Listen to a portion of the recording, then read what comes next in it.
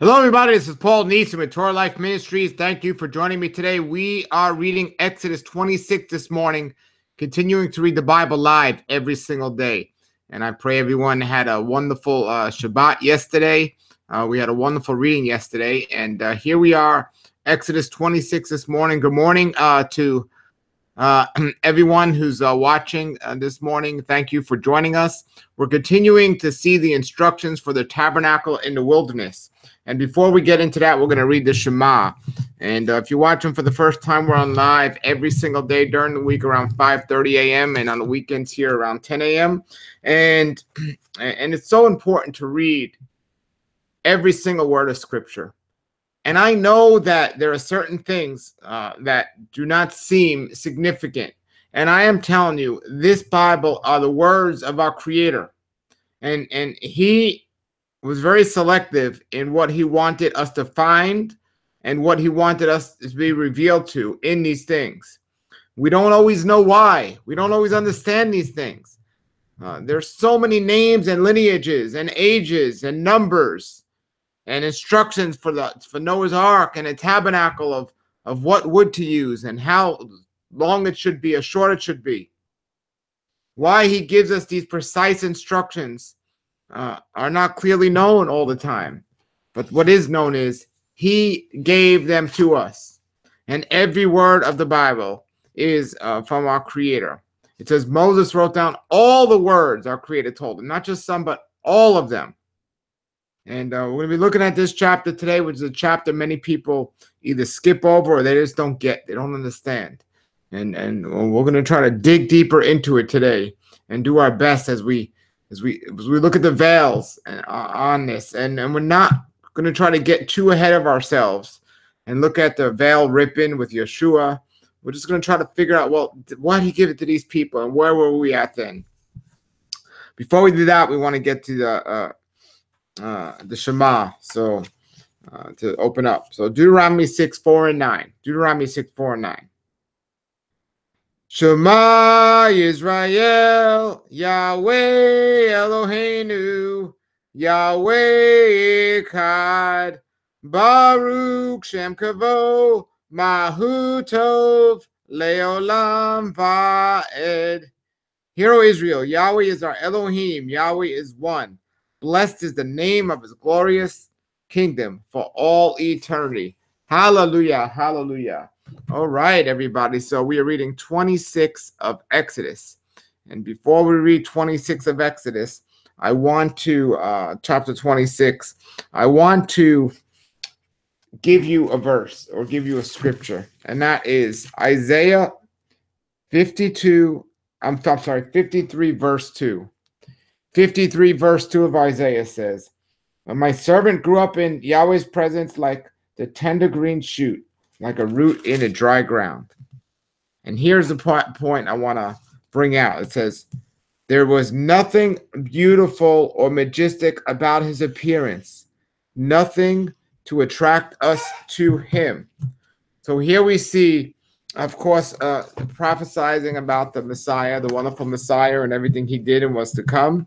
And uh, as we look at this, we think about uh, this wonderful note here in the Hebraic Roots Bible, which says, uh, It is not physical beauty that attracts people to the servant, but him being filled with the Spirit of Yahweh. Hallelujah. Hallelujah. So uh, we see Yeshua come as just a, a, a typical man, uh, not looking any different in splendor and, and everything he's doing and everything he does, but uh, what attracts people to him uh, is is the amazing uh, spirit uh, of Yahweh just flowing through him. So uh, now I'm going to turn to Exodus 15 26. We're going to read Exodus 15 26 this morning. But that is something to consider uh, when, when we think about this and what we're reading. And now I want to look at Exodus 15 26, the plans for the tabernacle. And let's get into this and think about the fine, minute details that Yahweh gave in his instructions and how he supplied the people in the wilderness with the tools to complete this wonderful magnificent tabernacle in the desert. Uh, so so let's let's let's think about that for a second here and just uh, consider that. I mean, if I go and I get uh, furniture from, let me let me clear that up a little. All right, if I go and I get some furniture from uh, IKEA or somewhere, it comes with a whole booklet of instructions to put together a little bookcase. And if you get a complicated desk, now you're really looking at some work. And and, and so uh, I get you know this, and the instructions. What the instructions tell me is how to put this together. And to be honest, what I usually do is uh, uh, what I usually do is I'll I'll put the throw the instructions away and just try to figure it out myself. And it might work, but every time I have an extra screw a screw left over or a couple of extra things left over, and I'm like, I wonder where this went, but it's still standing. It looks good to me. But Yahweh didn't want uh, the children to do that with the with the tabernacle. He wanted them to follow exactly the instructions, just like He wants us uh, to follow uh, the exact instructions when it comes to uh, his Torah. He doesn't want us to just guess or use our opinion or judgment. He wants us to follow them precisely. And that's why he gave it to us to precisely for us to follow. So you understand uh, that the final product, uh, we want to be of him and not of our own imagination of what he wants. That's very important. And it was the same thing with this magnificent tabernacle in, in, the desert here. So, uh, so here we go. So uh 26 it says uh and we just finished looking at the beginning of the tabernacle and go to YouTube and type tabernacle in the desert or tabernacle and I have uh, I thought yesterday I said it was in my video, but it wasn't on my Torah portion. But if you go to YouTube, you type tabernacle. I just saw it right before I did this video during my study. Uh, if you go in uh, into uh, uh, on it. They shows a 360 view of going into the tabernacle. It shows the menorah stand, and there's several of them out there now, more than when I first saw it. And you go in, you go through the curtains, and you see the Ark of the Covenant, and you see the angel on top. It's just magnificent, beautiful, beautiful. So it says, "Made the tabernacle from curtains of finely woven linen." Finely woven linen. So if you go to the store today, Bed Bath and Beyond, or Walmart, or somewhere you know, I'm a guy. What you know, when I'm going to go buy sheets, I'm looking for the cheapest sheets. That's it. You know, but women are looking for like uh, this uh, 300 or 400 or whatever 800 knit sheets that are, and, and you feel the difference. I mean, when you get those sheets, you feel the difference. I mean, this is finely woven or knit together, whatever you want to say, versus these sheets feel like like you're sleeping with just literally paper. There's a big difference. So, of course, there's also a big difference in the price because it was a lot more work to make this. Well, I could just imagine when he says, uh, make the tabernacle from, from 10 curtains of finely woven linen. You can just imagine how fine this was. When our creator says to make it fine, how fine it was. And, uh, you know, you just say, make it of, uh, uh, make the tabernacle of curtains but curtains of finely woven linen. And it says, uh, decorate the curtains with blue, purple, and scarlet thread, and with skillfully embroidered cherubim.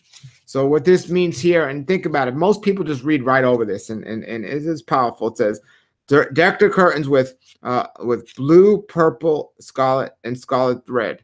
And these colors had a tremendous significance for royalty and, and, and there were other meanings to them as well.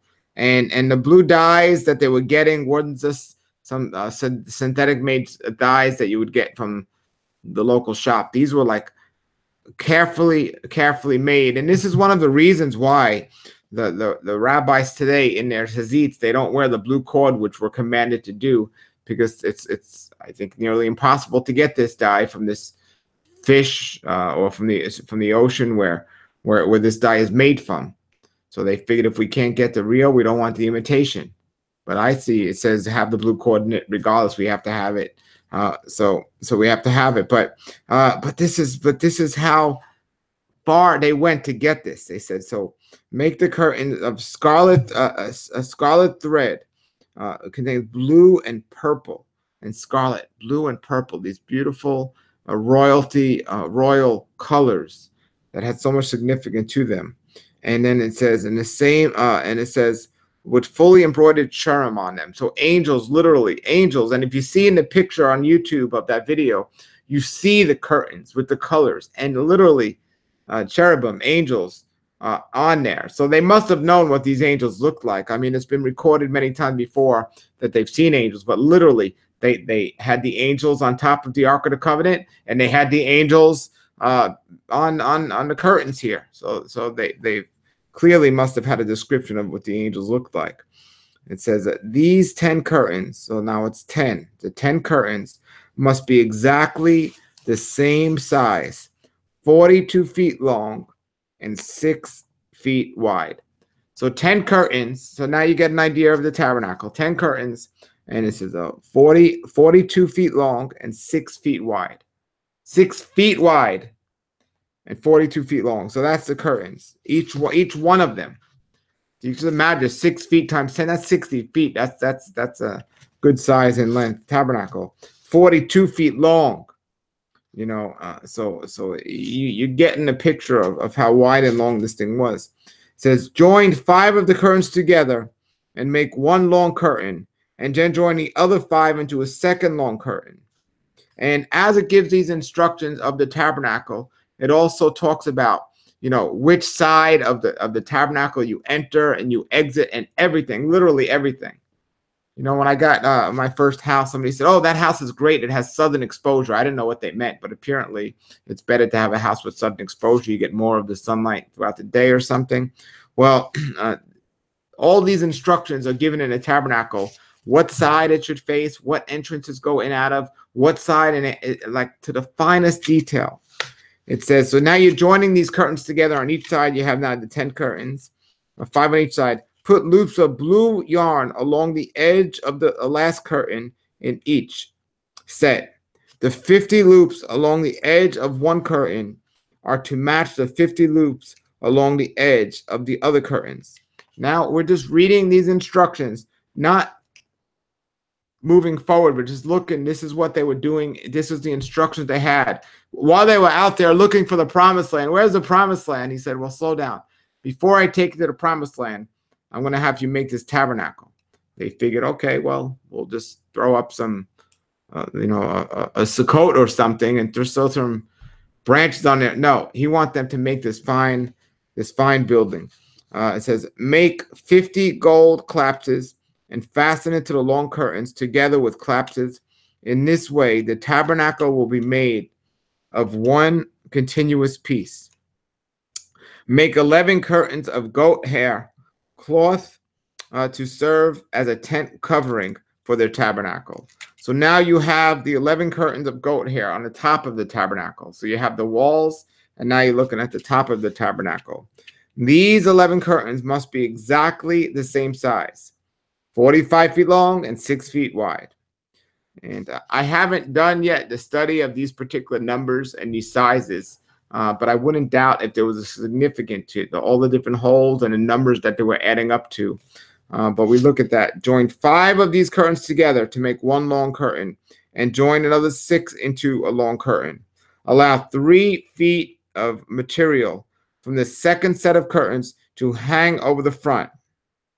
Of the sacred tent, make 50 loops for one edge of the large curtain then make 50 bronze claps and fasten the loops of the long curtains with the claps.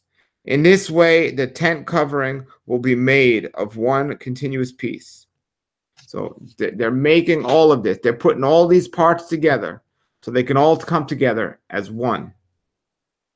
Okay, I mean, I don't want to get into significance and get too far off past here, but think about this. It's taking all of this and bringing it together as one continuous piece. The remaining three feet of the tent covering will be left hanging over the back of the tabernacle. Allow 18 inches of remaining material to hang down each side so the tabernacle is completely covered. Complete the, the tent covering with a protective layer of tanned ram skins and a layer of fine goat skin leather. So now they're, they're, they're, he's, he's given the instructions of completing this tabernacle. Form the framework of the tabernacle. Uh, construct frames of acacia wood. Each frame must be 15 feet high and 17 inches wide, with two pegs under each frame. Make all the frames identical. Make 20 of these frames to support the curtain on the south of the tabernacle. Also make 40 silver uh, 40 silver uh, bases, uh, two bases under each frame with the peg pegs fitting securely into the into uh, into the bases. For the north side of the tabernacle, make another 20 frames with their 40 silver boxes, two bases on each frame. So now, if you know about uh, green construction or constructing without nails, I know someone had a whole house built with just pegs and things like this. Uh, this was the form they used back then, and they use it in the tabernacle. And of course, the question comes to mind: Where are they getting all this wood and all this material and everything else? Well, you have to realize five people didn't come out of Egypt. You had, you had, you had so many people that came out in this big community, and they, and apparently they were taking these things with them, or they they somehow found some traders in the desert. Uh, but the key is that Yahweh provided for them, and He's given them these instructions uh, and the materials to make it happen. He will not ask us to do something that we did not have the capability of doing. He would not do it. And uh, and so it says, make six frames for the rear and the west side of the tabernacle, along with two additional frames, and, and reinforce the rear corners of the tabernacle. These corner frames will be matched at the bottom and firmly attached to the top with a single ring.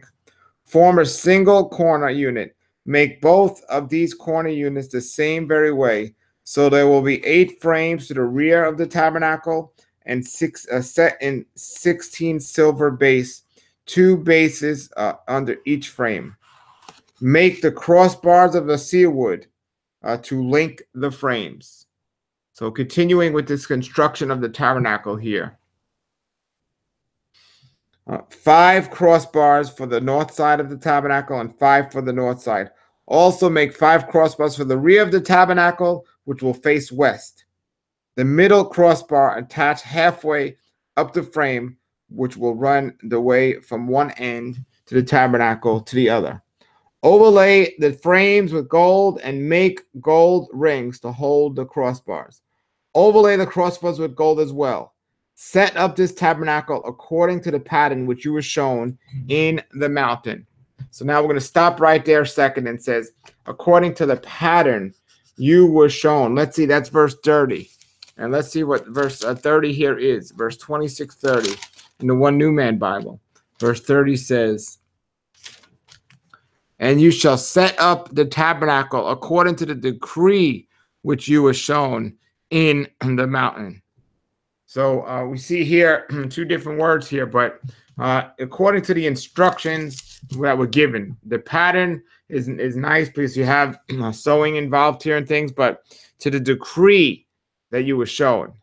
Uh, so so so the instructions were given. It says you were shown in the mount uh, on the mountain uh, when the Torah was given. So the instructions were given of how to make this happen and how to do this. And then it gets into the inside of the tabernacle. Remember, even though you had this splendor looking building on the outside, the real meaning of it is what's on the inside. And it says, For the inside the tabernacle, make a special curtain of finely woven linen. And this is a different curtain than the ones that were already spoken about. It says, decorated with blue and purple and scarlet thread with skillfully embroidered cherubim. Again, look the same, but remember, uh, we'll see that the size of it is different too. It says, hang the curtain of gold hooks Attach four pieces of acacia wood. Overlay the post with gold and set them in four silver bases. Hang the inner curtain from the chasps and put the Ark of the Covenant in the room behind the curtain. It will separate the holy place from the most holy place. Hallelujah. It'll separate the holy place from the most holy place.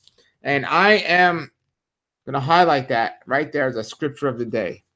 Separating the holy place from the most holy place. You see, we have in the world today the holy versus the profane, the holy, the, the righteous versus the unrighteous, the, the wicked versus the righteous, the good versus the bad, the evil versus the good. You have these complete opposites. But within a Creator's special place, what do you have? You have the good and you have the better. It's all good. It's all good. You know, and this curtain is separating from the holy place, which is set apart, to the most set apart place, the set apart of the set apart. And that's the calling for us as believers, not only to be set apart, but to be amongst the set apart of the set apart, taking it to the next level. It's one thing to accept Yeshua as Messiah, but it's a whole nother level to go and, and follow the ways and follow the Torah. You are now becoming the set apart of the set apart. And this is what he says right here separating the holy, not from the unholy, but the holy from the extra special holy. And we'll look at this more later on as we get into uh, Revelations and other books in Scripture and, and talks about okay, there's the holy and then there's the extra holy, the set apart of the set apart. And it's it's a powerful, important thing to understand. He just doesn't settle for, you know, this is my set apart. He said, no. He says there will be a holy place and then a most holy place, even more holy than the holy. Different levels, different different levels. You know, that's why it says in the scriptures when it says, Those that do the least of my commandments will be called uh, the lowest in the kingdom of the heavens. You know, so so so there's different levels, but those that keep my instructions will be called uh, the best. So, uh, verse 20, that was our verse of the day. So now we go to uh, verse 34. Then put the ark's cover uh, the place of atonement, uh, the, eh, the place of atonement on the top of the Ark of Covenant inside the most holy place. Somebody say most. We need to be the most holy people, not just holy people, the most holy people. Uh, place the table outside the inner curtain on the north side of the tabernacle and place the lampstand across the room on the south side. Now, how many of you right now watching could look around the room you're in right now and know where north, south, east, and west is immediately. You know, and to think that, you know, if you got this stuff wrong here, I, I, I would think there were consequences because this is the creator's most holy place. So it goes on to say, uh, it says here, place the ta- the table outside the inner curtain on the north side of the tabernacle and place the lampstand across the room on the south side. Then in verse 30, uh, in uh, verse 36, make another curtain for the entrance to the sacred tent. Make it of finely woven linen and embroidered with uh, uh exquisite designs. Exquisite designs embroidered with. And use purple and scarlet thread. Craft five posts from acacia wood. Overlay them with gold and hang the curtain from there with gold hooks cast five bronze bases for the post. Now, this is a very expensive uh, building, as we discussed last time, uh, and this wasn't even a permanent structure, and and and they're using so much, so much uh, expensive things in there. You know why? Because it's it's, it's a set apart place, and it's even more set apart than the set apart. It's the it, it's it's the most set apart. And this is just the beginning because then we're going to get into the courtyard, courtyard and where they burn the sacrifices, and we're going to get into it. But really, you can go on YouTube again and see that video of the 360 view of this. Uh, but but we see now we have the, the the instruments for inside the tabernacle. Now we have the tabernacle. Now we have the separation. We have the holy place and then the most holy place. And then it's going to give the instructions of of what these places were and and, and what to do with with these different things. So uh, it, it's really, really significant and powerful. Uh, and we do. And we started off today seeing, uh, and even though this building looked magnificent, uh, when Yeshua was discussed in, in Isaiah 53, verse 2, uh, it wasn't the outside that was important, it was the inside. It is the inside. And when we think about that, we think about our walk in our life. And so many people in this world are focused on the outside, but it's the inside that's important you know, and this uh, this moving tabernacle is no longer there. The temple is no longer there, but we have a tabernacle within us, on the inside of us. And Yahweh wants the finest, the, the finest of the finest. He wants us to to be part of. and, and to be uh, mimicking of Yeshua, our Messiah. He's told us over and over again not to imitate, not to imitate the, the ways of the wicked, but to, to, to be a shadow or a picture or, or an example of uh, the attitude of Yeshua. And hallelujah, hallelujah. So uh, this is significant here in the wild, in the wilderness. He still provides for you to have uh, what's going to meet your needs. Hallelujah. So, uh, for those of you that are looking for that tabernacle picture, again, just look at tabernacle. Uh, what I do, what I'll do is, uh, I'll go and I'll post it below the video. Uh, once I uh, upload this video, I'll post it below the video. We'll be back tomorrow for, with uh, 27 um, for more for the plans for the altar and the burnt offering. We'll, we'll do this tomorrow here at uh, 5:30 in the morning. If, if you're ready for that. And again, this is a difficult part for people to get through scripture. Is why that I need to know this and see this. But when you understand the uh, the significance of, of following Yahweh's instructions, we don't need to ask why. We need to ask, you know, just you know, why not? I got to do this because he said to do it and no other reason. So I'm, I'm going to make this happen. I'm going to do this. So hallelujah. That was verse 26. And uh, thank you for watching, everybody. Please put your comments and questions below. And remember, the first thing you read when you wake up and the last thing you read before going to sleep is what you remember. So make it scripture. We need to pray, praise, proclaim, read and repent and submit. Shalom, everybody. Have a great day. And we'll see you tomorrow morning. Let other people know. And thank you for watching. Shalom.